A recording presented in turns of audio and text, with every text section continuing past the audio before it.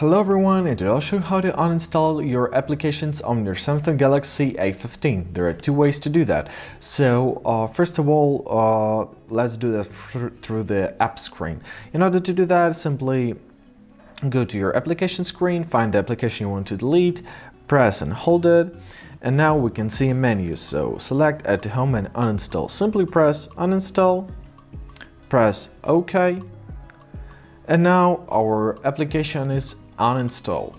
Okay, and the second way to do this is through your settings. So go to your settings here. Now uh, let's scroll down until we'll find our applications. So where it is, here it is, our apps.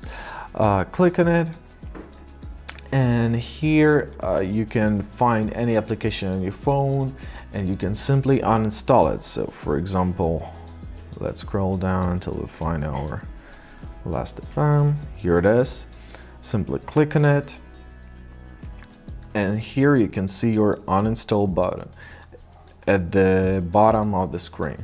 Click, press OK, and now your application is uninstalled.